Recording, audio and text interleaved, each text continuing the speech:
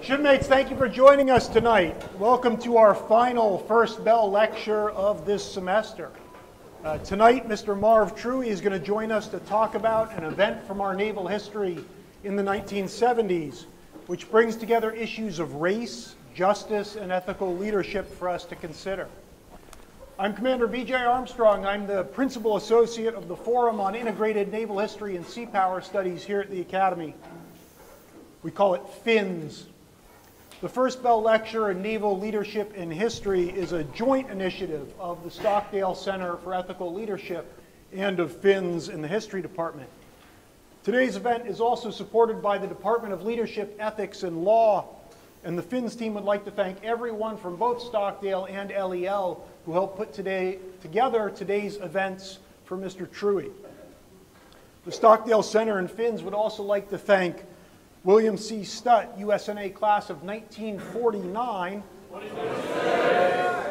for his generous support for this lecture series, and thank you to the Naval Academy Foundation for its support as well.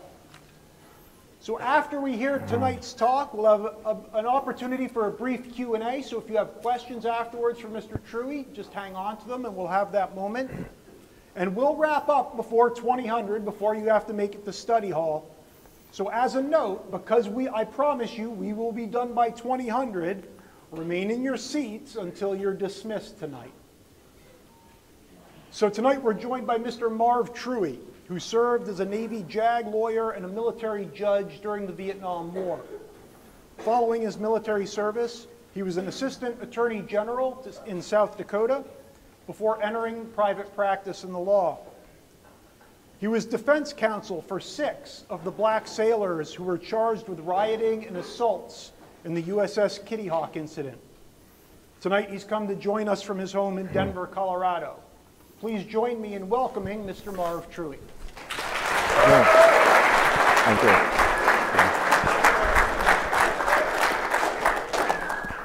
Thank you very much. This really is an honor for me to be here at the Academy. And I've been looking forward to it for some time, ever since I received the invitation, and uh, especially to be able to talk to you this evening. Most of the talks that I've given so far have been to veterans groups, uh, but it struck me as I was coming over here today that the veterans I speak to, uh, for the most part, have gray hair like myself, and uh, they are at the end of their careers but of course, you are at the beginning of your careers with all of that to look forward to, and you are really commended for the commitment that you've made by coming here to the Academy. And I, I wish you the, the best. The talk that I'm going to give you this evening is about my book. It just came out a few months ago, and it is a first person account of the USS Kitty Hawk race riot and the courts martial trials which followed. And as Commander has already told you, I was defense counsel for half a dozen of those young sailors.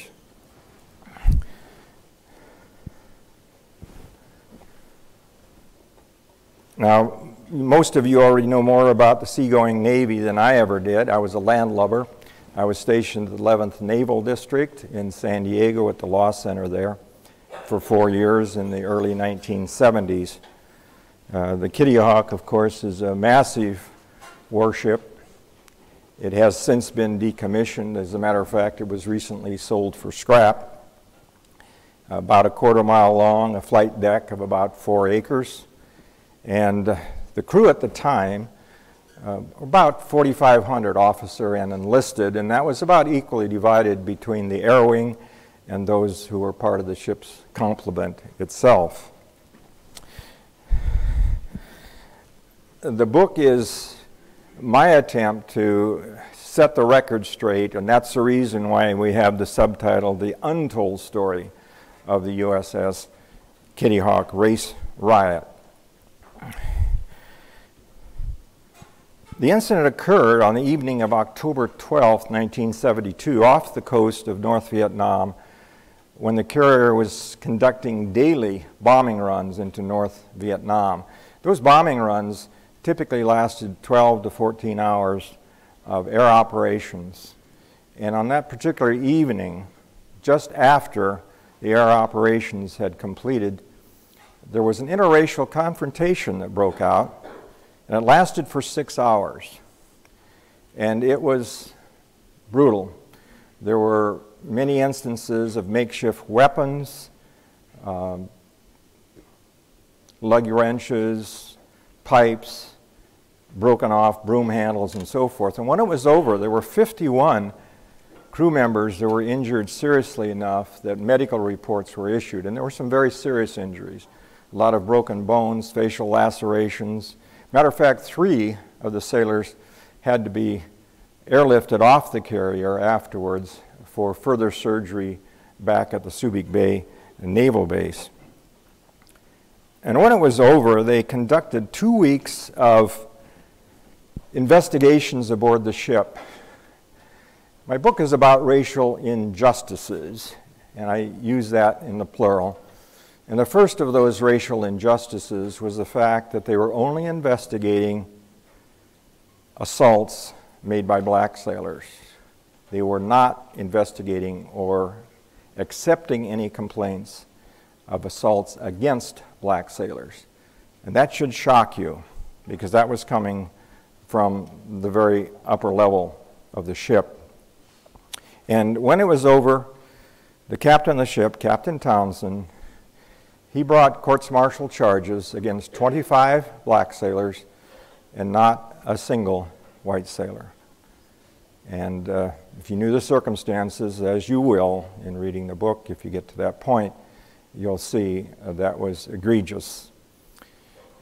And then when it was over and those sailors were flown back to San Diego, as I was stationed, that's when the trials began. I actually began writing the book when I was still in the Navy.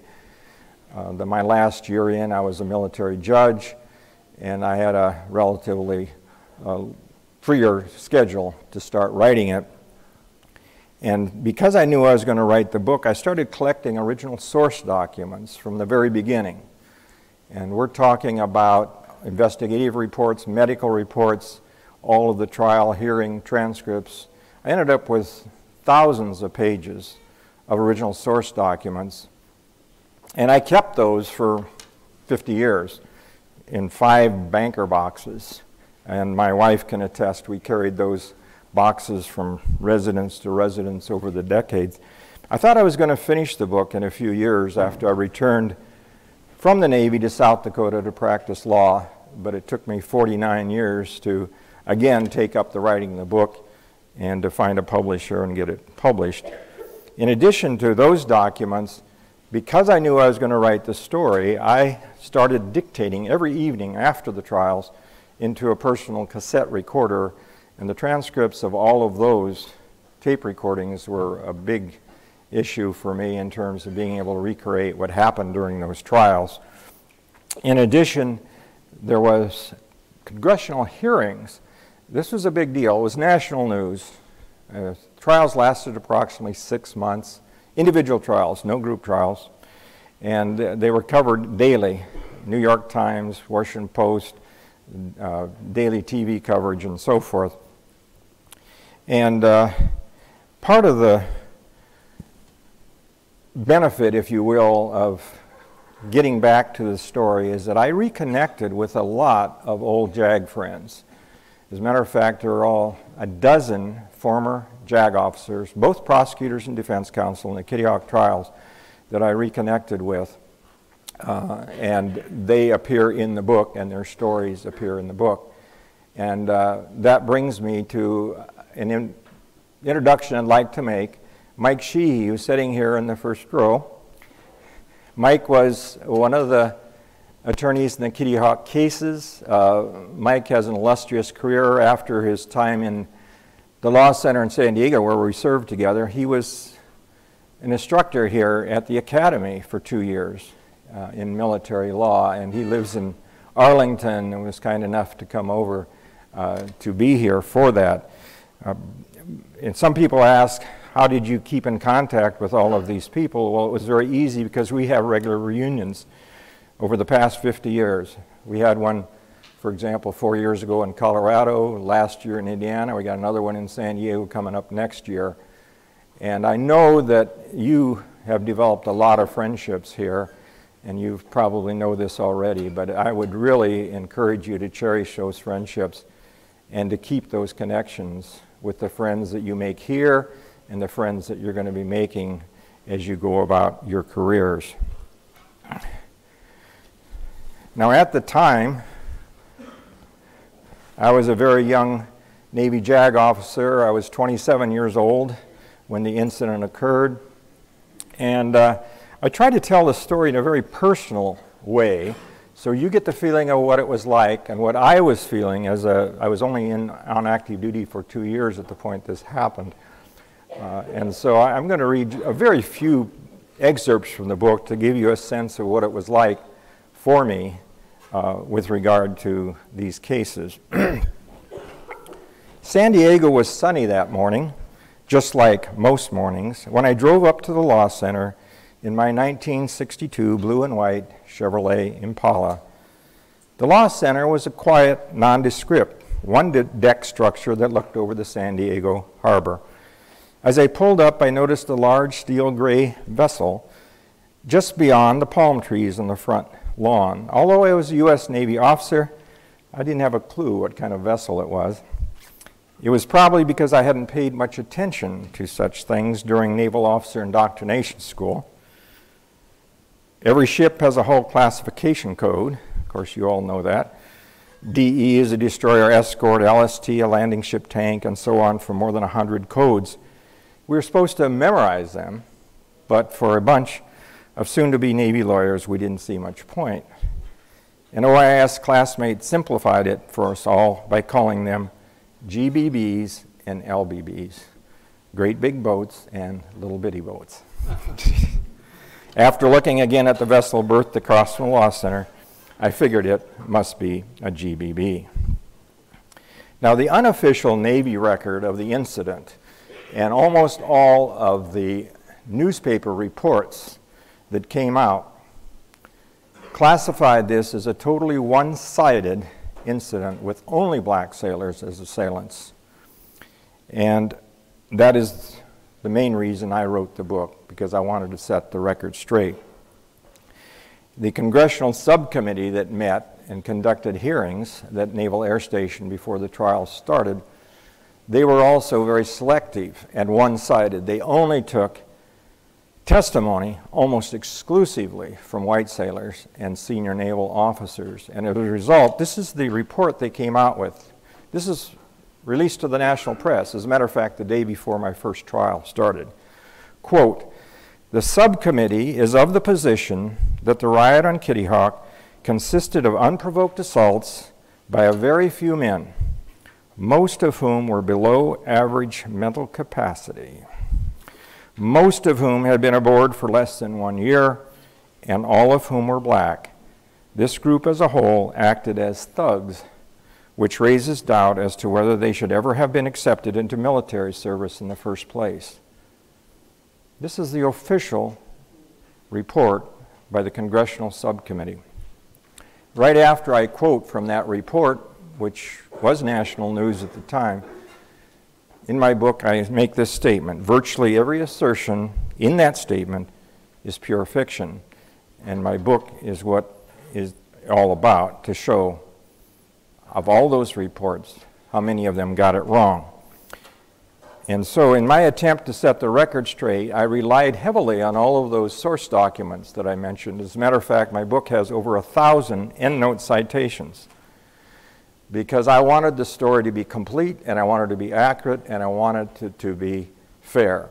I could hardly be critical of the news reports and the Navy report as being one sided if my book was going to be a one sided report also. And so it was very important to me that I tell both sides. I wanted my book to have credibility, I wanted it to have integrity. Now, at the time this was going on, the carrier was conducting these daily bombing runs. And the particular line period in question, it was the seventh one of 1972, and this line period had lasted for for 50 days. And we're talking about every day. About half of the air interdictions were conducted during nighttime hours. Um, and these flight operations, as I mentioned, lasted for 12, 14 hours a day. And that was very stressful for not only the air squadron crews, but also for the, those on board the carrier. And I talk about that in the book because I believe that the stresses of that unrelenting period of time, many of the sailors were six hours on, six hours off, around the clock for seven weeks during this particular time. And I make this statement why don't we bring thousands of young men of different ethnicities and backgrounds together under these conditions, most away from home and family for the first time, and see what happens? What could possibly go wrong? Plenty, as it turns out. Now, as many of you know, when you're on board a ship, if there are disciplinary matters, they are handled at, I think, what you folks learn as NJPs, Article 15s. In our day, we called them masts, captain's masts. Well, the problem was is that the Captain Townsend, who came on board about four months before the incident, he was faced with several incidents of assaults between black and white sailors. Most of these were one-on-one. But of all of those that he had to handle, he was also very discriminatory. If it was a black assailant, he meted out punishment at the NJPs of 30 days or more in the brig, diet of bread and water, always busted in rank, usually back to E1, and in some cases, the maximum in terms of fines. What if there were an assault, and there were many, dozens of assaults, uh, during that evening, but even before that, uh, there were eight assaults that he had to deal with at Captain's Mast in which the assailant was white and the victim was black. We're talking about unprovoked assaults now. In each of those cases, he only brought one of them to captain's mast. He dismissed several at captain's mast, and most he didn't even bring. And these were assaults that were occurring against black sailors not only on the ship but in port. This is a Subic Bay Navy base, it's no longer there. But uh, at the time, it was the main naval base for the Westpac as they were coming off the line from North Vietnam. And there were several assaults on black sailors, most of them individual, uh, both here and also in Olongapo City. This is another shot of the Subic Bay Naval Base, and if you look at the bridge at the back, the very top of your screen there is Olongapo City. It's the Liberty Town. Uh, and uh, there were several assaults there. And in all but one of those, the assailant was identified to the captain of the ship. We're talking about black sailors, crew members of the Kitty Hawk. And he did not bring a single captain's mast or charge in those cases. Well, as you can imagine, when this was going on, uh, the word gets around very quickly, even on a large ship, about what the captain was doing. And there were a lot of the young black sailors who started meeting to talk about their grievances and to bring that, try to bring that to the attention of senior officers. Uh, to give you an idea, there were 300 approximately black sailors, officer enlisted out of this crew complement of 4,500, so uh, a relatively small number.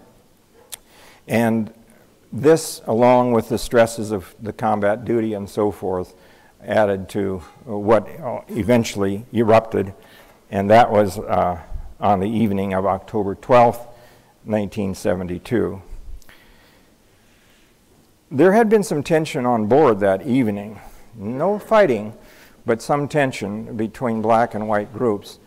And as a result, the captain ordered out the Marine detachment, the onboard Marine detachment, who usually wouldn't be called out unless there was something very serious going on. But the CO of the Mardet, he took it upon himself, without the captain's approval, as a matter of fact, later with the captain's distinct disapproval, to break up any groups of three or more sailors. We're not talking about sailors causing problems. We're just talking about sailors going about their business walking across the hangar bay with their friends uh, in the mess deck, uh, even in the berthing areas. And they carried that out, and this is yet another injustice, only against groups of three or more black sailors.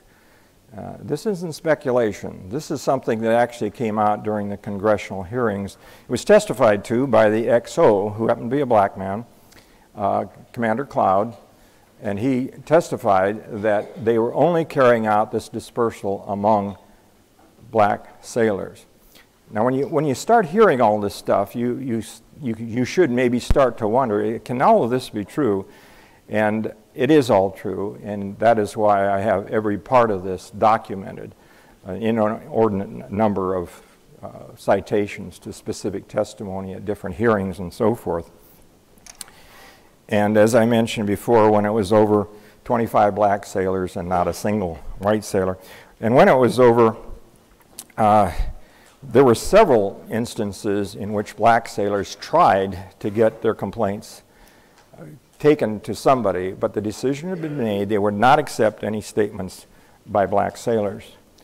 Uh, this is Durwood Davis. He's a grandfather like me now.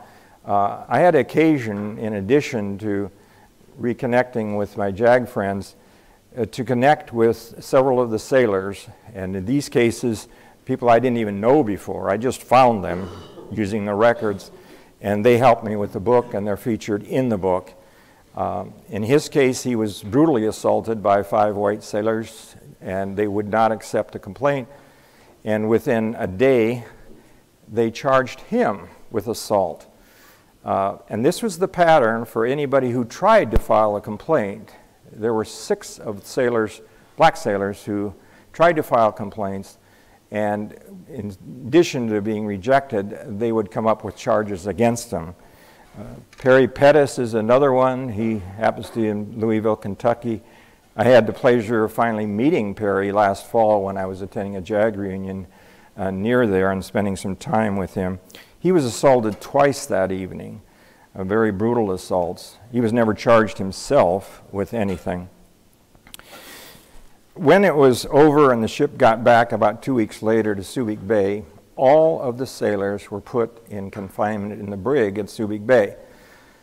Why is that important? Well, it's important because we're talking about pretrial confinement, presumed innocent virtually unheard of in the Navy for pretrial confinement. The only exceptions are are lengthy UAs, desertion charges, uh, murder, whatever. But for whatever reason, the captain decided that he was going to lock all of them up in the brig.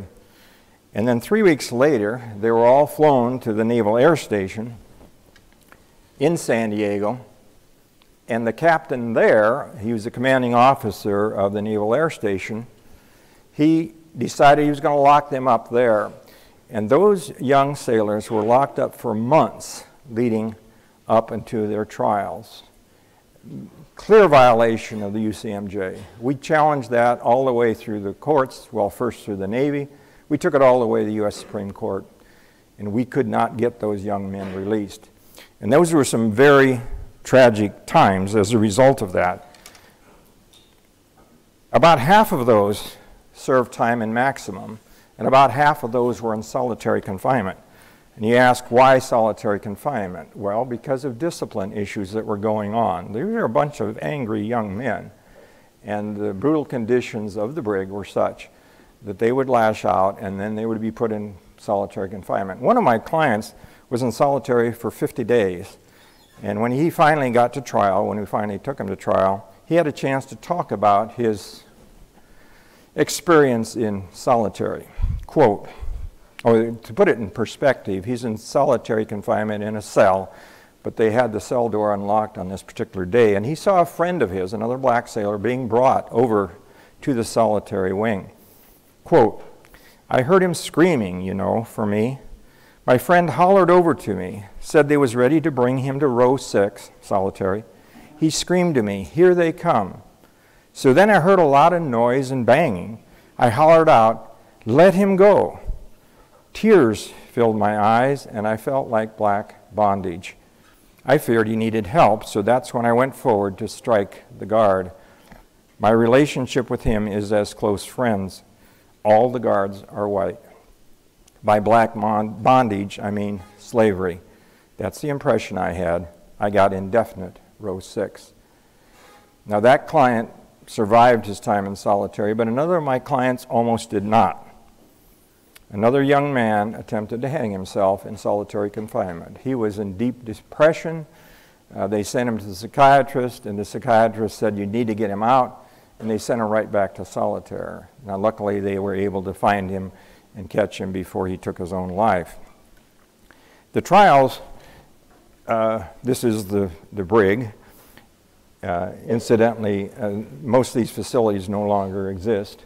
And this is the law center at the time. And there were other injustices that occurred when they were brought to trial. And one of the most serious ones is the withholding of the evidence by the government from our defense team. Now, incidentally, our defense team consisted, consisted not only of the JAG officers, but also from NAACP retained attorneys from the Southern California area. And some of those actually sat with us at counsel table. But as you probably know or will learn, under any justice system, military or otherwise, the government has the obligation to turn over all information about a case to the defense lawyers. And it's especially stringent in the military. The requirement is to get you every document of every kind that relates all the witness statements, all the medical reports, all of the pre hearing testimony. But the government refused to turn that over to us. And we spent two months uh, in retrospect, this is hard to believe, but we spent two months trying to get those documents. In some cases, we had convictions because documents weren't provided to us. I had one client went to trial, and I found out as we were going to trial that there was a two-page typewritten statement taken by him at the time of the incident, which I never knew about and we never received. We eventually had to go to federal court to get the documents, in clear violation of these young men's rights. The Law Center itself, uh, very small courtroom, but it was packed with media and a lot of attention. And as a result of this withheld evidence, we had several convictions that would not have occurred had we been given those documents. Exculpatory documents, for example, or documents made by prosecution witnesses that uh, contradicted what they eventually testified to. this next young man here is Cleveland Mallory.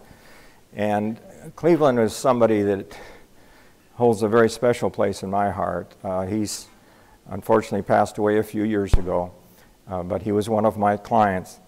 Cleveland worked at the store on board, and when he was locking up that evening, three white, uh, three white sailors approached him, one carrying a pipe, and assaulted him, unprovoked, and broke several of his ribs.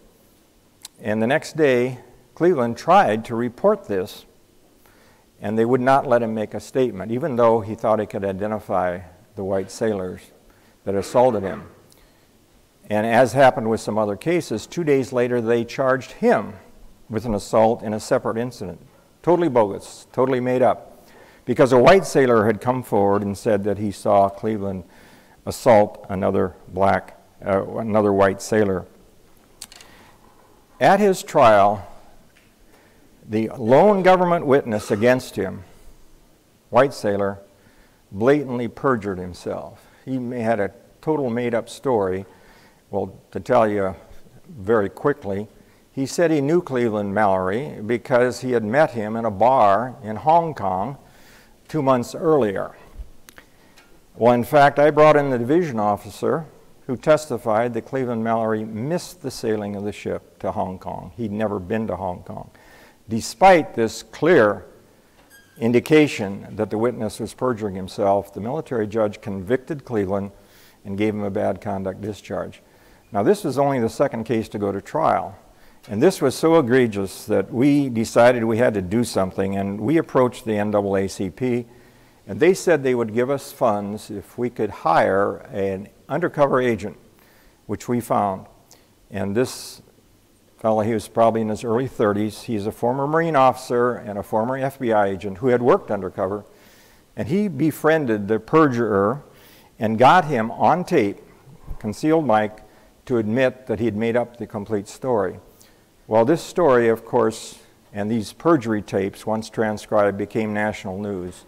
NAACP had a press conference in New York City, and this really caught everybody's attention nationwide that this clear case of perjury, everybody in the courtroom knew it was perjury by virtue of what had been testified to, uh, and yet he had been convicted. And as a result of that, we got his conviction reversed. But the other outcome of getting that conviction reversed was these perjury tapes, and it made it caught the attention of the Navy because they realized there might be a lot more of this going on. And from that point on, things started turning in our favor, in favor of the defense. The Navy started dropping some charges, uh, reducing charges, uh, complete acquittals, and so forth. As an end result, as sad as this whole story is, tragic as this whole story is, it had a relatively good ending because when all was said and done, there was not a single bad conduct discharge, and even those that pled guilty to assault received minimum sentences. Everybody got out of the Navy with an honorable discharge. And uh, so there was some things that were very positive about what happened. Now, as you can imagine, when I write a book about racial injustice, I'm going to be talking about discrimination. I'm going to be talking about bias and prejudice. And this is one of the excerpts from the book, one of my statements. Well meaning people of all ethnicities, all beliefs, and all persuasions who would never for a minute consider themselves to harbor any racial or other prejudices are a product of their environments, upbringings, and life experiences. As such, they can hold prejudices without any inkling of how their statements or actions may come across to others.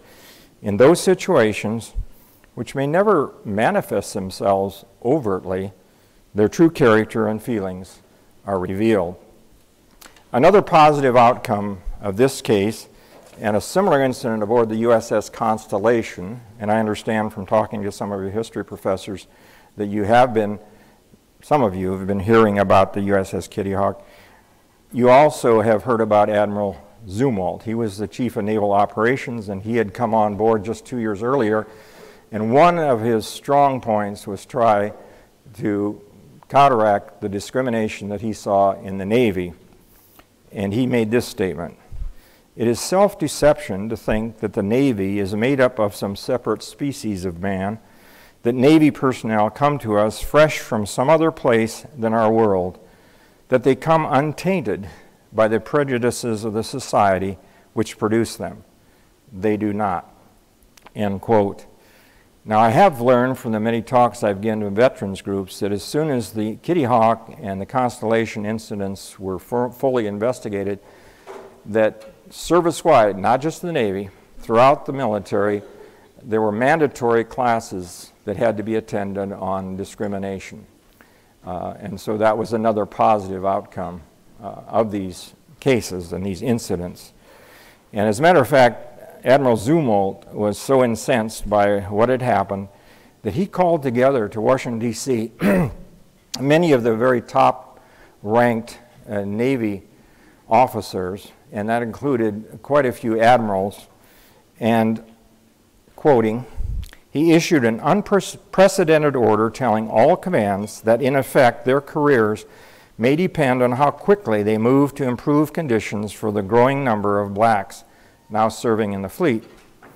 Never one to mince words, he stated that he invites Navy officers who do not view improved race relations as their critical duty right now to retire from the service. So he, he did not mince any words. He was very strong in carrying out what he believed was uh, a critical duty in terms of overcoming racism. Now, I've been asked uh, many times by people uh, who, for the most part, I haven't read the book first, whether or not my book is an indictment of the Navy. And it is not. But it is a very strong indictment against senior officers. Very few, but senior officers in very important positions. And I make that clear in the book. Uh, And one of the things that happened during this incident, it became very personal. Uh, now, I'm going to explain to you what a convening authority is. A convening authority is the person who brings charges, signs charges, in courts martial cases, and it's usually the commanding officer of the ship or the commanding officer of a base. In this particular case, it was the convening authority was the commanding officer of Naval Air Station. And very early on, he made it very clear that even though he is required by military law to be impartial and treat everybody the same, defense and prosecution, he had a different mindset. And he decided that he was going to make it very difficult for us to carry out our defense. And he was the one that primarily withheld the evidence, for example. And an incident occurred in which I made arrangements for a NAACP lawyer to fly aboard the Kitty Hawk when it was still two days out in transit coming back to San Diego. And that was a violation of a regulation I didn't even know existed. Uh, to have a warship not yet back in home port, have any civilians on board. But he treated that as if I had done that intentionally. And I'd gone through the air traffic controller and the COD uh, pilot and so forth to make those arrangements. And so he said he was going to remove me as defense counsel. And uh, it wasn't even equivocal. Well, then, of course, there was so much publicity about having me removed. Uh, eventually, he was unable to do that. But as a result of that, I brought an action against him as the convening authority to have him removed as the defense counsel. Now, coming from a junior officer against the captain, uh, that got a lot of publicity also. Now, I wasn't able to actually remove him as the convening authority. Again, I, we had a, a, lot of trouble with the judges that were involved, especially one in particular. But as a result of those actions, uh, there was a threat that I was going to be court martialed for conduct unbecoming. And cooler heads prevailed, and that likewise uh, did not happen. But as a result of all of this sort of thing, and what I talk about in the book, that was what gave rise to the question of whether my book was an indictment of the entire Navy. Um, I make this statement at the very beginning of my book to make it clear where I stand with regard to this entire issue of the Kitty Hawk. I was honored to wear the uniform of a U.S. Navy officer and am proud of and eternally grateful for those who have worn military uniforms in defense of our country. That includes you. You will read about some of them here. There are others, however, whom I have less respect for, and you will read about them also. Now, for those that might be interested, the quickest way to find out about my book is I have a book website, it's just my name.com. It has a lot of photos there that aren't actually in the book and a lot of other information. And for those who might be interested, it's, the book is available just about anywhere Amazon, Barnes and Noble, online, in bookstores, and so forth. And now I'm going to get to the point of opening this up for possible questions. But before I do, I want to tell you two questions that I have gotten that I want you to think about. One of my early talks was to Vietnam veterans in the Denver area, and one of them made, asked this question of me. He said, You were a reserve officer. And I said, Yes, I was. He said, Would you have been as aggressive in defending your clients, in going after senior officers, if you had been a career officer?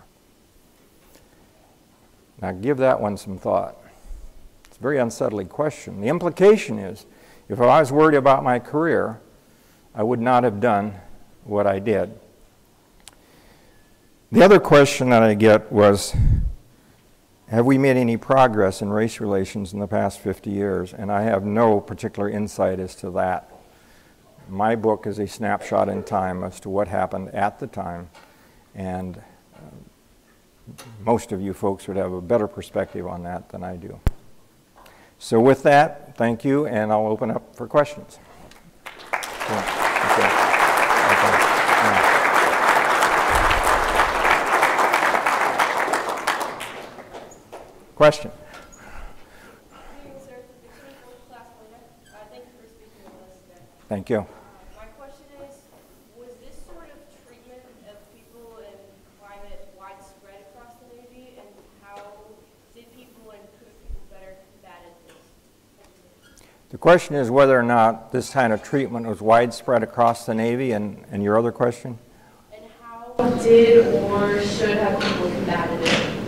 Well, the obvious thing is that people should have stepped forward, but it, you have to understand in the chain of command, these decisions were made by the captain of the ship.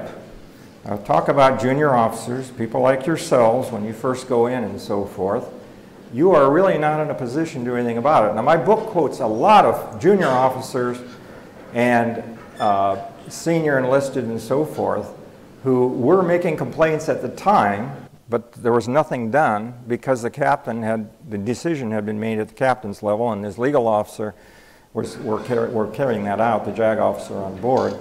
And the same is true of the commanding authority, the captain of the Naval Air Station. Uh, there were, by, by the time the cases got back to San Diego, of course, we were getting some press. Uh, New York Times in particular, San Diego Tribune were very good about listening to us on the defense team. So some of that stuff was getting out, just trickles of it though, because the captain of the ship gave an order that none of the men could talk to the press. Now think about that in, in connection with the fact congressional hearings were going on in which they were not interested in listening to black sailors, and, and a standard order that they could not talk to the press. So uh, I'm not faulting the junior officers or the, the senior enlisted and so forth, because they really just did not have a say. But that, on a positive note, and I say this as a positive note, Captain Townsend's career was over because of what happened and everything that came out. He, he got out of the Navy early. He never made admiral, which you would expect. He was a decorated aviator and so forth. Uh, so there was some justice done, if you will, but not to the extent that you might think, frankly, because of the chain of command. Well, questions? Uh, Sergeant Fort Knox Whalen. Uh, I'd like to know, is there a reason you weren't able to, with Admiral Zumwalt being the current chief naval operations at the time, was there no pathway for you to actually appeal above the current chain of command on that ship, or did you only operate underneath that captain who was kind of pressing the no, there are, the question is whether there, are, there was any ability to appeal beyond what was happening locally to Admiral Zumwalt. Well, there is a very uh, strict and detailed pattern of appeals. But to give you an idea with regard to the incarceration, we went through the entire military command, every level, including the most senior, the Armed Forces uh, panel uh, that meets, and they denied us, and that's when we went to the U.S. Supreme Court. We actually had some pretty good connections, uh, and this takes a little broader, and I talk about that. Nathaniel Jones, black attorney, was the head of the NAACP. He was general counsel for them. And he actually had relationships with the uh, people in Washington, D.C., including the Navy JAG and including the, the Department of Defense and so forth. And he actually appealed to them during this process of pretrial confinement, but they, he was turned down. And he was very well known. He actually served on a national commission uh, on riots uh, in, in, America, and he'd actually served on a DOD task force on discrimination in the military prior to this. So he was a nationally known figure. So uh, we were just hitting a wall at every level.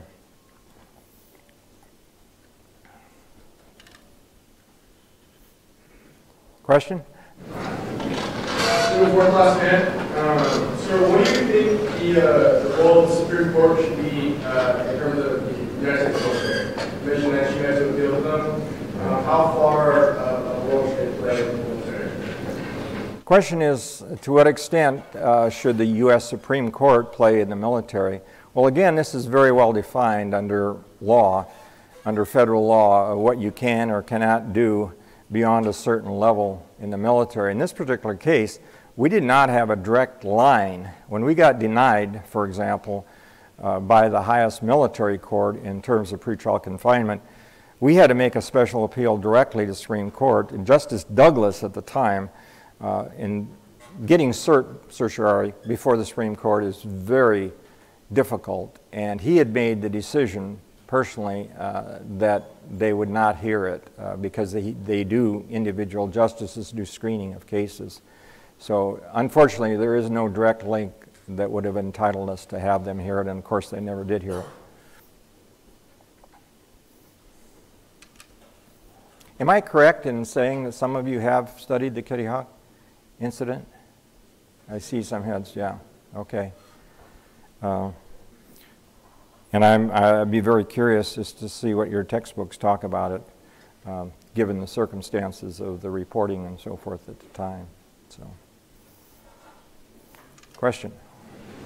So, Mr. Report Class also, what would your advice be um, if we as junior officers go into a negative or discriminatory climate? Question is my advice if, as junior officers, you go into a negative or a discriminatory uh, climate, assume on board ship or wherever. Um, I'm not sure I have any advice that would be any more obvious than to each of you, uh, but my quick answer would be frankly, stick your neck out, okay? It gets back to that whole question about that question I got asked. If you're worried about your career, to what extent will you step forward? And I hope the answer is I know that integrity, ethics, and so forth is part and parcel of what you folks are about. And I hope that translates when you go on active duty into doing what you think is right under those circumstances. And hopefully, we have a better situation than we had 50 years ago in terms of responses. I know that, for example, you have regular uh, avenues for taking issues of harassment or whatever too that did not exist uh, back in, in my day. So I would just hope that you would have the strength of character to do the right thing regardless of consequences. Question? Sir, Midshipman Fourth Class Walsh, you mentioned that the XO of the Kitty Hawk, uh, Commander Todd, was of African American descent. Right. What role do you believe that he should have played, uh, if any, in uh, the Captain's Mast process, and if he should have spoken up during those those times and throughout the trial, sir? The question is whether the XO, who was uh, African American, actually African American and, and Native American uh, descent, XO of the ship, uh, perhaps the highest ranking uh, black officer, as far as I know, in the Navy at the time. What role should he have played? Well, he played, he attempted to do as much as he could. And in my book, I, and including my own clients, let's get off of this, uh, including my own clients, uh, said to me, and I quote them in the book, that he was the hero of the evening. He was going about throughout the evening, breaking up groups, talking to the black sailors, talking to the white sailors. At one point, there were a bunch of white sailors who had armed themselves, and he talked them out of it, even though he was getting death threats from the white sailors. Think about that, XO of the carrier. And he was doing everything he could to break this up. But the backlash he was getting from the captain was such that the very next day, uh, when they're still on line, and this continued for two weeks. The captain ordered the XO not to talk to any black sailors. Now, think about that. He was the person that the black sailors most trusted, senior in command, and he was given a direct order not to talk to them. When you read about some of this stuff, uh, you may say, no, that can't be. That can't be right. But that's the reason I have the citations, the book. So he did stick his neck out. He did try to do things. And I quote him before the Congressional Committee. Now, fortunately, he was before the Congressional Subcommittee, and he was the one, for example, that testified that when the Marines were breaking up groups, they were doing it unilaterally. Uh, he was the one that was testifying about some of the things that were going on with regard to those NJPs. So, an, another great example of somebody um, who was willing. And unfortunately, his career cratered also give you an idea, he should have been a CO of a carrier after that. He was a decorated aviator. His next assignment was to head up the Navy ROTC department at the University of Texas. Think about that. Uh, that should not have happened. Uh, But that was one of the unfortunate ramifications of what went on. I guess I I don't have an explanation for that, except the buck stops there, right? One more, one more. So, the first class um, in your presentation, you mentioned that the prosecution withheld the documents that were relevant to the case, relevant, um, to the um, difficult to obtain these documents. Was there any, uh, reform to that process in terms of the justice system following the Kitty Hawk case? The withholding of evidence, uh, the question is whether following this there's any reform in the system with regard to that, and not that I'm aware of. The, the commanding officer of the Naval Air Station was using every subterfuge for two months. He first said that there was classified information in those documents. Now, this is ridiculous. He's saying classified information in witness statements about what happened that he could not share with other naval officers, ourselves, the defense counsel. Uh, and then he said that it was, after he said it was classified, ended up nothing was classified. Uh, then he talked about the fact that they had to determine what was relevant to us, but no change. Now, interestingly, in that same vein, uh, Mike and I were just talking earlier today that we have heard that they are making a change military wide such that convening authorities will no longer be commanding officers. I don't know, can some of you tell me about that? Okay, I don't know if it's happened yet, but that would be a very definite positive change because you would not have those people who were personally involved with this, that they would let somebody who is more objective, and in this particular case, the convening authority, who I tried to get removed unsuccessfully, continued to block everything that we did. One of the reasons why, if a convening authority has got a personal involvement, he should never be allowed to be that. So I guess that's the end of our time, Commander? Yeah, shipmates, Okay. join me in thanking Mr. Truhe for speaking with us. Okay, thank you. Thank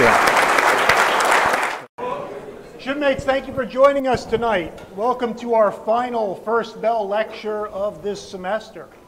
Uh, tonight, Mr. Marv Truhe is going to join us to talk about an event from our naval history in the 1970s, which brings together issues of race, justice, and ethical leadership for us to consider. I'm Commander B.J. Armstrong. I'm the Principal Associate of the Forum on Integrated Naval History and Sea Power Studies here at the Academy. We call it FINS. The First Bell Lecture in Naval Leadership and History is a joint initiative of the Stockdale Center for Ethical Leadership and of FINS in the History Department. Today's event is also supported by the Department of Leadership, Ethics, and Law, and the FINS team would like to thank everyone from both Stockdale and LEL who helped put today, together today's events for Mr. Truhe. The Stockdale Center and FINS would also like to thank William C. Stutt, USNA class of 1949, for his generous support for this lecture series, and thank you to the Naval Academy Foundation for its support as well. So after we hear tonight's talk, we'll have a, an opportunity for a brief Q&A. So if you have questions afterwards for Mr. Truhe, just hang on to them and we'll have that moment. And we'll wrap up before 2000, before you have to make it to study hall. So as a note, because we, I promise you, we will be done by 2000, remain in your seats until you're dismissed tonight. So tonight we're joined by Mr. Marv Truhe, who served as a Navy JAG lawyer and a military judge during the Vietnam War. Following his military service, he was an assistant attorney general in South Dakota before entering private practice in the law. He was defense counsel for six of the black sailors who were charged with rioting and assaults in the USS Kitty Hawk incident. Tonight he's come to join us from his home in Denver, Colorado. Please join me in welcoming Mr. Marv Truhe. Thank you.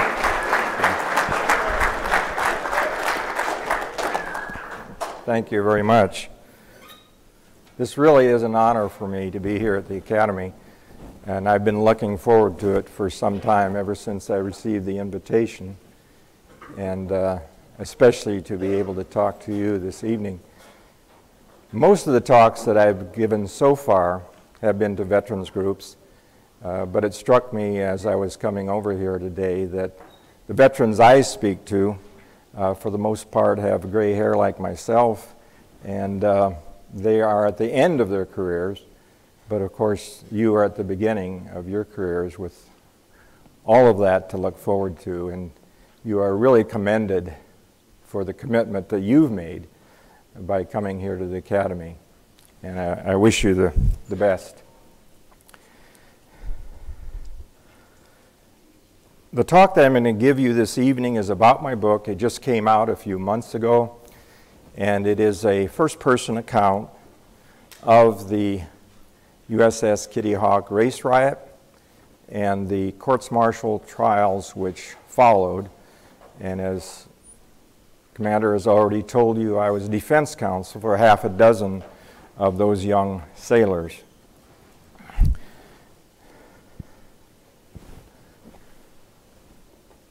Now, most of you already know more about the seagoing Navy than I ever did. I was a landlubber.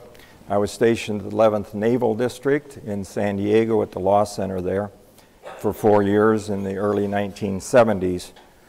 Uh, the Kitty Hawk, of course, is a massive warship. It has since been decommissioned. As a matter of fact, it was recently sold for scrap. About a quarter mile long, a flight deck of about four acres.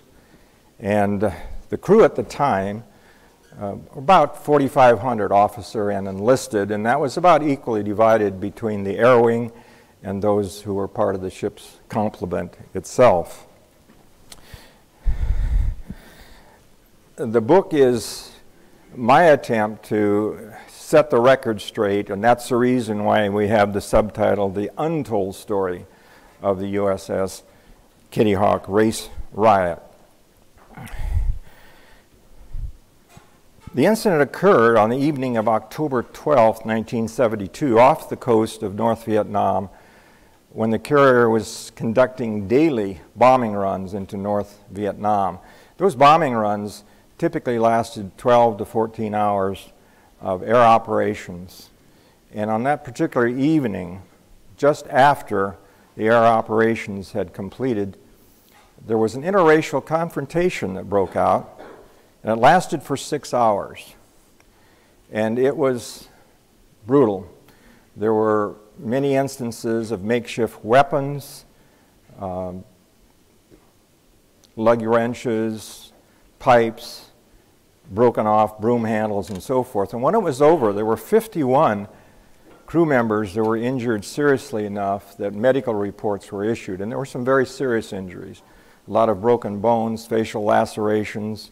Matter of fact, three of the sailors had to be airlifted off the carrier afterwards for further surgery back at the Subic Bay Naval Base. And when it was over, they conducted two weeks of investigations aboard the ship. My book is about racial injustices, and I use that in the plural. And the first of those racial injustices was the fact that they were only investigating assaults made by black sailors. They were not investigating or accepting any complaints of assaults against black sailors. And that should shock you because that was coming from the very upper level of the ship. And when it was over, the captain of the ship, Captain Townsend, he brought courts martial charges against 25 black sailors and not a single white sailor. And uh, if you knew the circumstances, as you will in reading the book, if you get to that point, you'll see uh, that was egregious. And then when it was over and those sailors were flown back to San Diego, as I was stationed, that's when the trials began. I actually began writing the book when I was still in the Navy. Uh, the, my last year in, I was a military judge, and I had a relatively uh, freer schedule to start writing it. And because I knew I was going to write the book, I started collecting original source documents from the very beginning. And we're talking about investigative reports, medical reports, all of the trial hearing transcripts. I ended up with thousands of pages of original source documents. And I kept those for 50 years in five banker boxes. and my wife can attest, we carried those boxes from residence to residence over the decades. I thought I was going to finish the book in a few years after I returned from the Navy to South Dakota to practice law, but it took me 49 years to again take up the writing of the book and to find a publisher and get it published. In addition to those documents, because I knew I was going to write the story, I started dictating every evening after the trials into a personal cassette recorder, and the transcripts of all of those tape recordings were a big issue for me in terms of being able to recreate what happened during those trials. In addition, there was congressional hearings. This was a big deal. It was national news. Uh, trials lasted approximately six months. Individual trials, no group trials. And they were covered daily. New York Times, Washington Post, uh, daily TV coverage, and so forth. And uh, part of the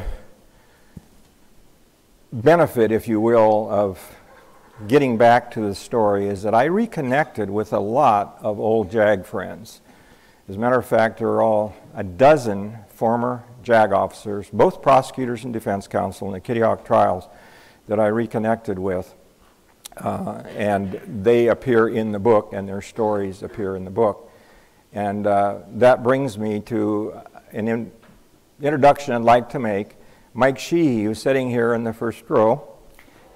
Mike was one of the attorneys in the Kitty Hawk cases. Uh, Mike has an illustrious career after his time in the Law Center in San Diego, where we served together. He was an instructor here at the Academy for two years uh, in military law, and he lives in Arlington and was kind enough to come over uh, to be here for that. Uh, and some people ask, how did you keep in contact with all of these people? Well, it was very easy because we have regular reunions over the past 50 years. We had one, for example, four years ago in Colorado, last year in Indiana. We got another one in San Diego coming up next year. And I know that you have developed a lot of friendships here, and you probably know this already, but I would really encourage you to cherish those friendships and to keep those connections with the friends that you make here and the friends that you're going to be making as you go about your careers. Now, at the time, I was a very young Navy JAG officer. I was 27 years old when the incident occurred. And uh, I tried to tell the story in a very personal way so you get the feeling of what it was like and what I was feeling as a, I was only in, on active duty for two years at the point this happened. Uh, and so I'm going to read a very few excerpts from the book to give you a sense of what it was like for me uh, with regard to these cases. San Diego was sunny that morning, just like most mornings, when I drove up to the Law Center in my 1962 blue and white Chevrolet Impala. The Law Center was a quiet, nondescript, one deck structure that looked over the San Diego harbor. As I pulled up, I noticed a large steel gray vessel just beyond the palm trees in the front lawn. Although I was a U.S. Navy officer, I didn't have a clue what kind of vessel it was. It was probably because I hadn't paid much attention to such things during Naval Officer Indoctrination School. Every ship has a hull classification code. Of course, you all know that. DE is a destroyer escort, LST a landing ship tank, and so on for more than 100 codes. We were supposed to memorize them, but for a bunch of soon to be Navy lawyers, we didn't see much point. An OIS classmate simplified it for us all by calling them GBBs and LBBs great big boats and little bitty boats. After looking again at the vessel berthed across from the Law Center, I figured it must be a GBB. Now, the unofficial Navy record of the incident and almost all of the newspaper reports that came out classified this as a totally one sided incident with only black sailors as assailants. And that is the main reason I wrote the book, because I wanted to set the record straight. The congressional subcommittee that met and conducted hearings at Naval Air Station before the trial started, they were also very selective and one sided. They only took testimony almost exclusively from white sailors and senior naval officers. And as a result, this is the report they came out with. This is released to the national press, as a matter of fact, the day before my first trial started. Quote, the subcommittee is of the position that the riot on Kitty Hawk consisted of unprovoked assaults by a very few men, most of whom were below average mental capacity most of whom had been aboard for less than one year, and all of whom were black. This group as a whole acted as thugs, which raises doubt as to whether they should ever have been accepted into military service in the first place. This is the official report by the Congressional Subcommittee. Right after I quote from that report, which was national news at the time, in my book, I make this statement virtually every assertion in that statement is pure fiction. And my book is what is all about to show, of all those reports, how many of them got it wrong. And so, in my attempt to set the record straight, I relied heavily on all of those source documents that I mentioned. As a matter of fact, my book has over a thousand endnote citations because I wanted the story to be complete and I wanted to be accurate and I wanted to, to be fair. I could hardly be critical of the news reports and the Navy report as being one sided if my book was going to be a one sided report also. And so it was very important to me that I tell both sides. I wanted my book to have credibility, I wanted it to have integrity. Now, at the time this was going on, the carrier was conducting these daily bombing runs. And the particular line period in question, it was the seventh one of 1972, and this line period had lasted for 50 days. And we're talking about every day. About half of the air interdictions were conducted during nighttime hours. Um, and these flight operations, as I mentioned, lasted for 12, 14 hours a day. And that was very stressful for not only the air squadron crews, but also for the, those on board the carrier. And I talk about that in the book because I believe that the stresses of that unrelenting period of time, many of the sailors were six hours on, six hours off, around the clock for seven weeks during this particular time. And I make this statement why don't we bring thousands of young men of different ethnicities and backgrounds together under these conditions, most away from home and family for the first time, and see what happens? What could possibly go wrong? Plenty, as it turns out. Now, as many of you know, when you're on board a ship, if there are disciplinary matters, they are handled at, I think, what you folks learn as NJPs, Article 15s, in our day we called them masts, captain's masts.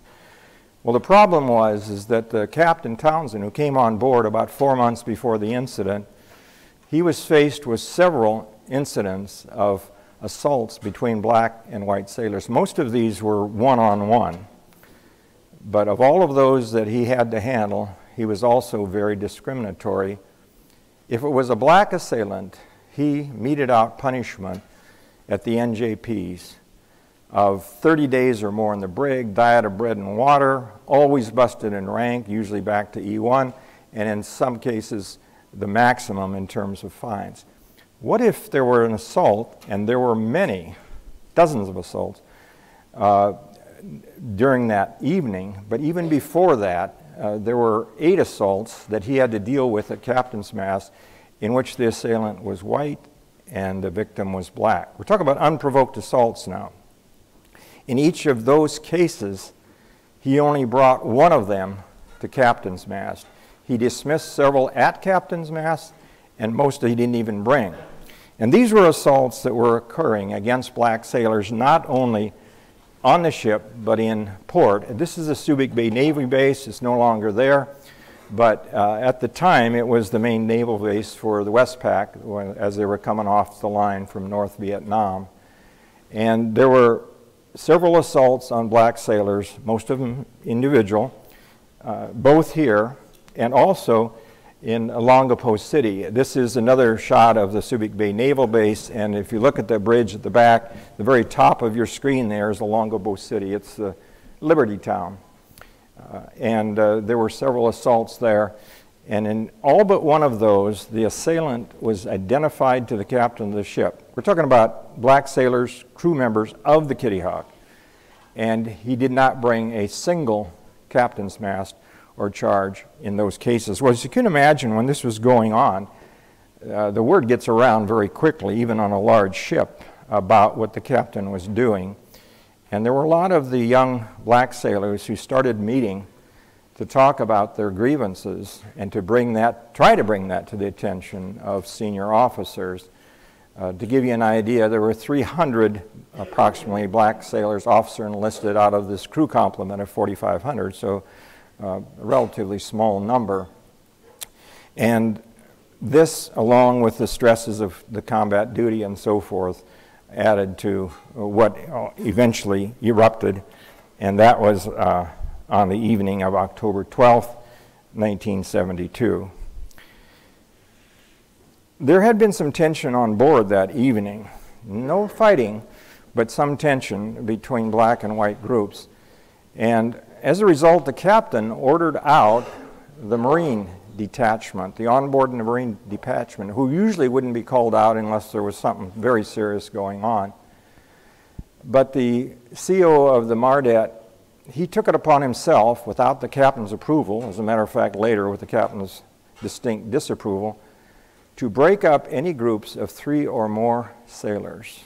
We're not talking about sailors causing problems. We're just talking about sailors going about their business, walking across the hangar bay with their friends, uh, in the mess deck, uh, even in the berthing areas. And they carried that out, and this is yet another injustice, only against groups of three or more black sailors. Uh, this isn't speculation. This is something that actually came out during the congressional hearings. It was testified to by the XO, who happened to be a black man, uh, Commander Cloud, and he testified that they were only carrying out this dispersal among black sailors. Now, when you, when you start hearing all this stuff, you, you, you, you should maybe start to wonder can all of this be true? And it is all true, and that is why I have every part of this documented uh, an inordinate number of uh, citations to specific testimony at different hearings and so forth. And as I mentioned before, when it was over 25 black sailors and not a single white sailor. And when it was over, uh, there were several instances in which black sailors tried to get their complaints uh, taken to somebody, but the decision had been made they would not accept any statements by black sailors. Uh, this is Durwood Davis. He's a grandfather like me now. Uh, I had occasion, in addition to reconnecting with my JAG friends uh, to connect with several of the sailors. And in these cases, people I didn't even know before. I just found them using the records, and they helped me with the book, and they're featured in the book. Um, in his case, he was brutally assaulted by five white sailors, and they would not accept a complaint. And within a day, they charged him with assault. Uh, and this was the pattern for anybody who tried to file a complaint. There were six of sailors, black sailors, who tried to file complaints, and in addition to being rejected, they would come up with charges against them. Uh, Perry Pettis is another one. He happens to be in Louisville, Kentucky. I had the pleasure of finally meeting Perry last fall when I was attending a JAG reunion uh, near there and spending some time with him. He was assaulted twice that evening, very brutal assaults. He was never charged himself with anything. When it was over and the ship got back about two weeks later to Subic Bay, all of the sailors were put in confinement in the brig at Subic Bay. why is that important? Well, it's important because we're talking about pretrial confinement, presumed innocent virtually unheard of in the Navy for pretrial confinement. The only exceptions are are lengthy UAs, desertion charges, uh, murder, whatever. But for whatever reason, the captain decided that he was going to lock all of them up in the brig. And then three weeks later, they were all flown to the Naval Air Station in San Diego. And the captain there, he was the commanding officer of the Naval Air Station, he decided he was going to lock them up there. And those young sailors were locked up for months leading up into their trials. Clear violation of the UCMJ. We challenged that all the way through the courts, well, first through the Navy. We took it all the way to the U.S. Supreme Court, and we could not get those young men released. And those were some very tragic times as a result of that. About half of those served time in maximum, and about half of those were in solitary confinement. And you ask, why solitary confinement? Well, because of discipline issues that were going on. These were a bunch of angry young men, and the brutal conditions of the brig were such that they would lash out and then they would be put in solitary confinement. One of my clients was in solitary for 50 days, and when he finally got to trial, when we finally took him to trial, he had a chance to talk about his experience in solitary. Quote, or to put it in perspective, he's in solitary confinement in a cell, but they had the cell door unlocked on this particular day, and he saw a friend of his, another black sailor, being brought over to the solitary wing. Quote, I heard him screaming, you know, for me. My friend hollered over to me, said they was ready to bring him to row six, solitary. He screamed to me, Here they come. So then I heard a lot of noise and banging. I hollered out, Let him go. Tears filled my eyes, and I felt like black bondage. I feared he needed help, so that's when I went forward to strike the guard. My relationship with him is as close friends. All the guards are white. By black bondage, I mean slavery. That's the impression I had. I got indefinite, row six. Now, that client survived his time in solitary, but another of my clients almost did not. Another young man attempted to hang himself in solitary confinement. He was in deep depression. Uh, they sent him to the psychiatrist, and the psychiatrist said, You need to get him out, and they sent him right back to solitary. Now, luckily, they were able to find him and catch him before he took his own life. The trials, uh, this is the, the brig. Uh, incidentally, uh, most of these facilities no longer exist. And this is the Law Center at the time. And there were other injustices that occurred when they were brought to trial. And one of the most serious ones is the withholding of the evidence by the government from our defense team. Now, incidentally, our defense team consisted, consisted not only of the JAG officers, but also from NAACP retained attorneys from the Southern California area. And some of those actually sat with us at counsel table but as you probably know or will learn, under any justice system, military or otherwise, the government has the obligation to turn over all information about a case to the defense lawyers. And it's especially stringent in the military. The requirement is to get you every document of every kind that relates, all the witness statements, all the medical reports, all of the pre hearing testimony. But the government refused to turn that over to us, and we spent two months. Uh, in retrospect, this is hard to believe, but we spent two months trying to get those documents. In some cases, we had convictions because documents weren't provided to us. I had one client went to trial, and I found out as we were going to trial that there was a two-page typewritten statement taken by him at the time of the incident, which I never knew about and we never received. We eventually had to go to federal court to get the documents in clear violation of these young men's rights.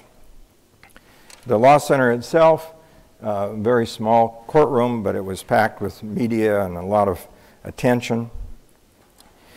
And as a result of this withheld evidence, we had several convictions that would not have occurred had we been given those documents exculpatory documents, for example, or documents made by prosecution witnesses that uh, contradicted what they eventually testified to. this next young man here is Cleveland Mallory, and Cleveland is somebody that holds a very special place in my heart. Uh, he's unfortunately passed away a few years ago, uh, but he was one of my clients. Cleveland worked at the store on board, and when he was locking up that evening, three white, uh, three white sailors approached him, one carrying a pipe, and assaulted him, unprovoked, and broke several of his ribs. And the next day, Cleveland tried to report this, and they would not let him make a statement, even though he thought he could identify the white sailors that assaulted him. And as happened with some other cases, two days later they charged him with an assault in a separate incident. Totally bogus, totally made up. Because a white sailor had come forward and said that he saw Cleveland assault another black, uh, another white sailor. At his trial, the lone government witness against him, white sailor, blatantly perjured himself. He had a total made up story. Well, to tell you very quickly, he said he knew Cleveland Mallory because he had met him in a bar in Hong Kong two months earlier. Well, in fact, I brought in the division officer who testified that Cleveland Mallory missed the sailing of the ship to Hong Kong. He'd never been to Hong Kong. Despite this clear indication that the witness was perjuring himself, the military judge convicted Cleveland and gave him a bad conduct discharge. Now, this was only the second case to go to trial. And this was so egregious that we decided we had to do something, and we approached the NAACP and they said they would give us funds if we could hire an undercover agent, which we found. And this fellow, he was probably in his early 30s. He's a former Marine officer and a former FBI agent who had worked undercover. And he befriended the perjurer and got him on tape, concealed mic, to admit that he had made up the complete story. Well, this story, of course, and these perjury tapes, once transcribed, became national news. NAACP had a press conference in New York City, and this really caught everybody's attention nationwide that this clear case of perjury, everybody in the courtroom knew it was perjury by virtue of what had been testified to, uh, and yet he had been convicted. And as a result of that, we got his conviction reversed. But the other outcome of getting that conviction reversed was these perjury tapes and it made it caught the attention of the Navy because they realized there might be a lot more of this going on. And from that point on, things started turning in our favor, in favor of the defense.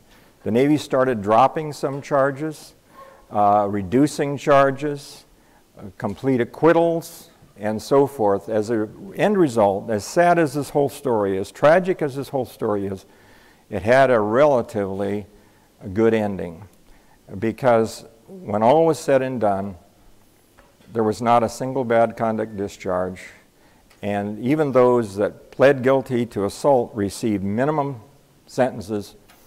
Everybody got out of the Navy with an honorable discharge. And so there was some things that were very positive about what happened. Now, as you can imagine, when I write a book about racial injustice, I'm going to be talking about discrimination. I'm going to be talking about bias and prejudice. And this is one of the excerpts from the book, one of my statements.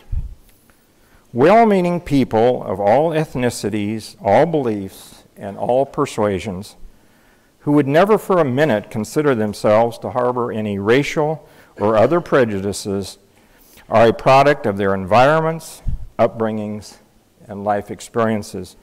As such, they can hold prejudices without any inkling of how their statements or actions may come across to others. In those situations, which may never manifest themselves overtly, their true character and feelings are revealed. Another positive outcome of this case and a similar incident aboard the USS Constellation, and I understand from talking to some of your history professors that you have been some of you have been hearing about the USS Kitty Hawk.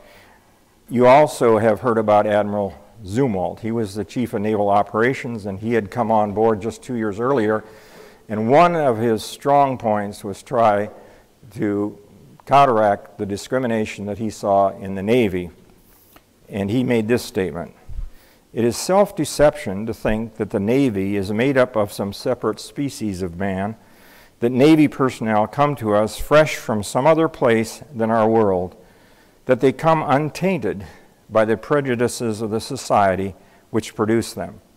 They do not. End quote. Now, I have learned from the many talks I've given to veterans groups that as soon as the Kitty Hawk and the Constellation incidents were fully investigated, that service-wide, not just the Navy, throughout the military, there were mandatory classes that had to be attended on discrimination. Uh, and so that was another positive outcome uh, of these cases and these incidents.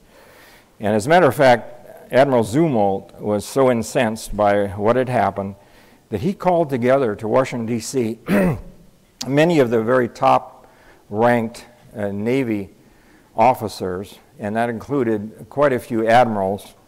And, quoting, he issued an unprecedented order telling all commands that, in effect, their careers may depend on how quickly they move to improve conditions for the growing number of blacks now serving in the fleet.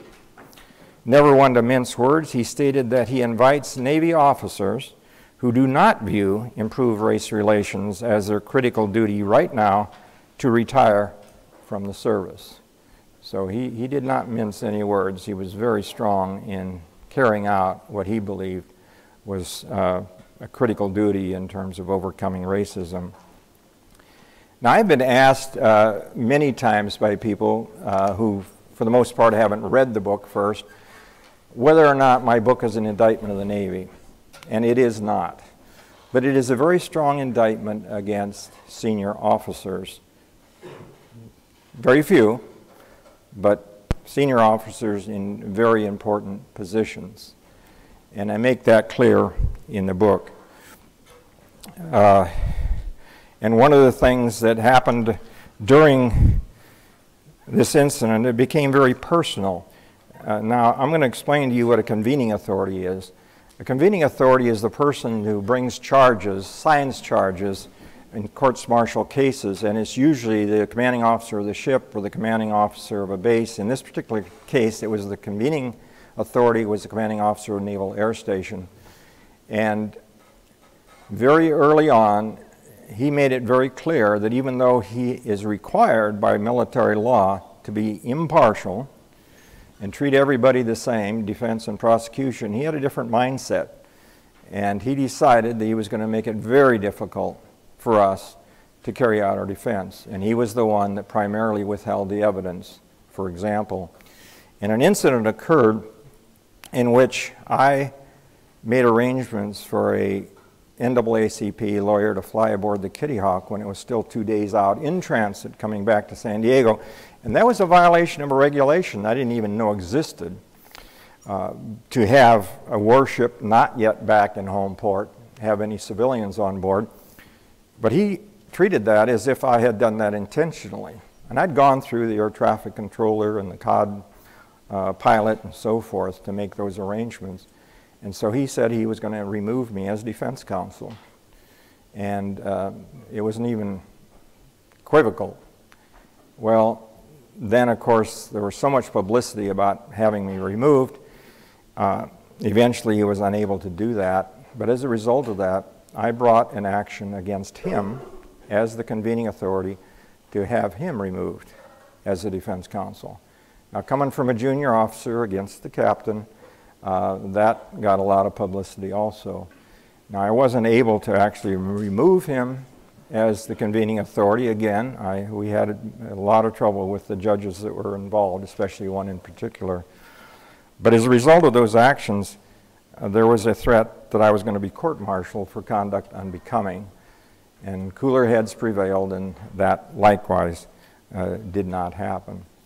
But as a result of all of this sort of thing, and what I talk about in the book, that was what gave rise to the question of whether my book was an indictment of the entire Navy. Um, I make this statement at the very beginning of my book to make it clear where I stand with regard to this entire issue of the Kitty Hawk. I was honored to wear the uniform of a U.S. Navy officer and am proud of and eternally grateful for those who have worn military uniforms in defense of our country. That includes you. You will read about some of them here. There are others, however, whom I have less respect for, and you will read about them also. Now, for those that might be interested, the quickest way to find out about my book is I have a book website, it's just myname.com. It has a lot of photos there that aren't actually in the book and a lot of other information. And for those who might be interested, it's, the book is available just about anywhere Amazon, Barnes and Noble, online, in bookstores, and so forth. And now I'm going to get to the point of opening this up for possible questions. But before I do, I want to tell you two questions that I have gotten that I want you to think about. One of my early talks was to Vietnam veterans in the Denver area, and one of them made asked this question of me. He said, "You were a reserve officer," and I said, "Yes, I was." He said, "Would you have been as aggressive in defending your clients, in going after senior officers, if you had been a career officer?" Now, give that one some thought. It's a very unsettling question. The implication is, if I was worried about my career, I would not have done what I did. The other question that I get was Have we made any progress in race relations in the past 50 years? And I have no particular insight as to that. My book is a snapshot in time as to what happened at the time, and uh, most of you folks would have a better perspective on that than I do. So, with that, thank you, and I'll open up for questions. Yeah.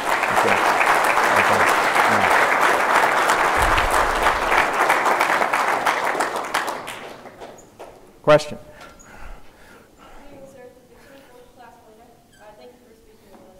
Thank you. My question is, was this sort of treatment of people and climate widespread across the Navy, and how did people and could people better combated this? The question is whether or not this kind of treatment was widespread across the Navy, and, and your other question? And how did or should have people combated it?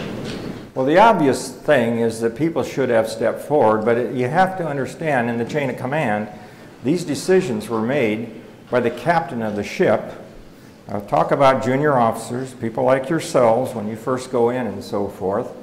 You are really not in a position to do anything about it. Now, my book quotes a lot of junior officers and uh, senior enlisted and so forth who were making complaints at the time but there was nothing done because the captain had, the decision had been made at the captain's level and his legal officer was, were, car were carrying that out, the JAG officer on board. And the same is true of the commanding authority, the captain of the Naval Air Station.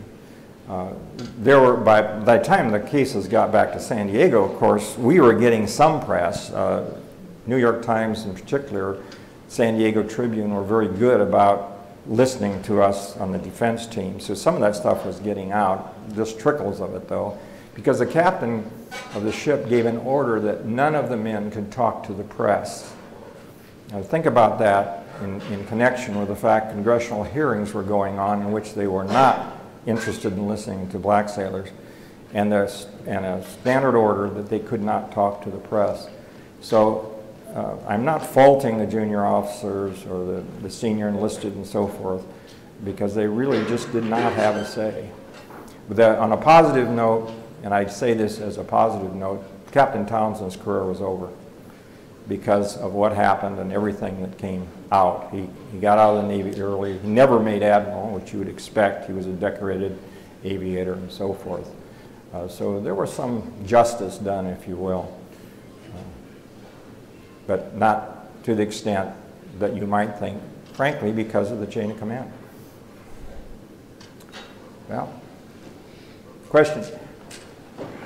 Uh, yeah, Sergeant Jim Fort Knox Uh, I'd like to know, is there a reason you weren't able to, with Admiral Zumwalt being the current chief naval operations at the time, was there no pathway for you to actually appeal above the current chain of command on that ship, or could you only operate underneath that captain who was kind of pressing the No, there are, the question is whether there, are, there was any ability to appeal beyond what was happening locally to Admiral Zumwalt. Well, there is a very uh, strict and detailed pattern of appeals, but to give you an idea with regard to the incarceration, we went through the entire military command, every level, including the most senior, the Armed Forces uh, panel uh, that meets, and they denied us, and that's when we went to the U.S. Supreme Court.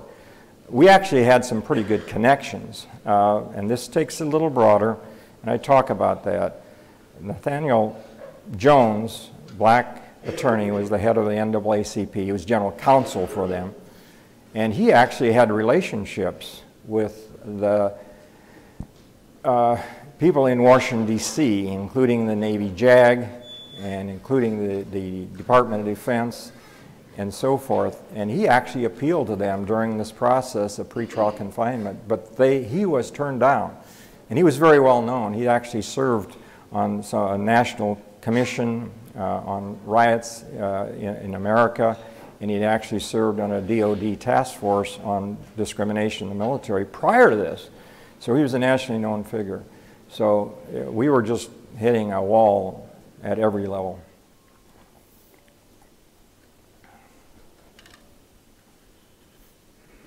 Question?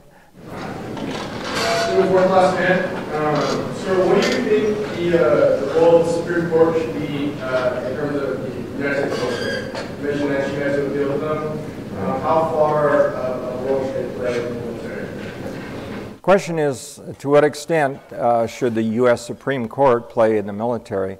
Well, again, this is very well defined under law, under federal law, what you can or cannot do beyond a certain level in the military. In this particular case, we did not have a direct line. When we got denied, for example, uh, by the highest military court in terms of pretrial confinement, we had to make a special appeal directly to Supreme Court. And Justice Douglas at the time uh, in getting cert, certiorari before the Supreme Court is very difficult, and he had made the decision personally uh, that they would not hear it uh, because they, they do, individual justices do screening of cases. So unfortunately, there is no direct link that would have entitled us to have them hear it, and of course, they never did hear it. Am I correct in saying that some of you have studied the Kitty Hawk? incident? I see some heads, yeah. Okay. Uh, and I'm, I'd be very curious just to see what your textbooks talk about it, um, given the circumstances of the reporting and so forth at the time. So,